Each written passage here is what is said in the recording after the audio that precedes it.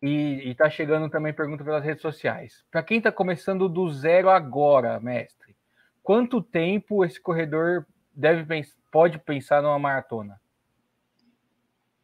Bom, é, acho que já até já tivemos essa pergunta aí, mas, mas ok.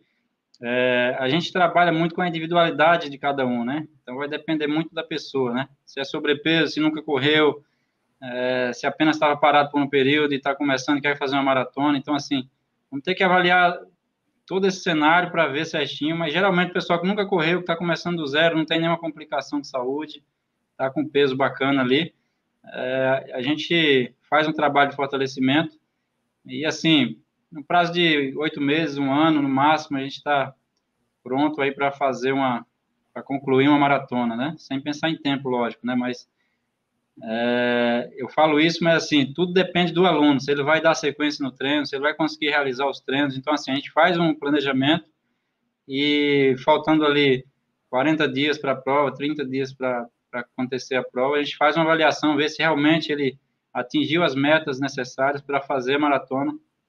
E aí a gente volta a reunir com ele, conversar e falar, ó, você está dentro aí do planejado, dá para fazer, ou, ou o contrário também, você perdeu alguns treinos, é, não conseguiu concluir o volume que foi planejado, então a gente acaba, é, no final, acaba orientando ali se vale a pena ou não, né? Então, assim, é uma é coisa para a gente avaliando e acompanhando, né? Não é, não é uma data específica, ah, um ano, um mês, ou um, um ano, dois anos, ou seis meses, então, assim, não tem como definir isso, né? É uma coisa é, fixa, né? Pode mudar a qualquer momento. Varia, então, do, da, do condicionamento e do, da individualidade de cada um.